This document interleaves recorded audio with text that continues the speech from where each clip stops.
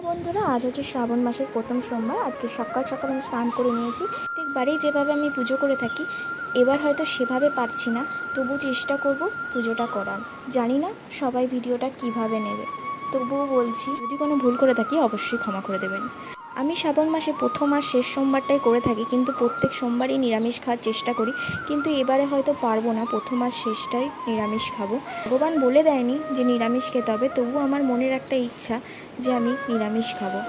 আর এখানে আমি আরতি করে নিচ্ছি জানি এগুলো করা যায় না তবুও জোর করে করছি। সত্যি কথা বলতে আমার এই সময় পুজো করলে মনে একটা অদ্ভুত শান্তি তৈরি হয়ে যায়। আগেকার দিনের মানুষরা বলতেন যে পাঁচ মাসের পর থেকে মেয়েদেরকে পুজো করা মন্দিরে যাওয়া ঠাকুরকে ধূপ দেখানো এমনকি কোনো শুভ কাজ করাও যায় না।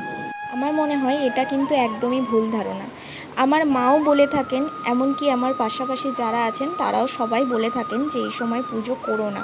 কিন্তু আমার মনে হয় যে পুজো করলেই আমি আমার মনটাকে কন্ট্রোলে রাখতে পারব অনেক শান্তিতে থাকতে পারব। আচ্ছা আপনারাই বলুন আপনাদের বাড়িতে এই সময় যদি কেউ না থাকে আপনি যদি একাই থাকেন তাহলে আপনার ঠাকুরকে কি আপনি অভুক্ত রেখে দেবেন? এইসব কুসংস্কার বিশ্বাস করে?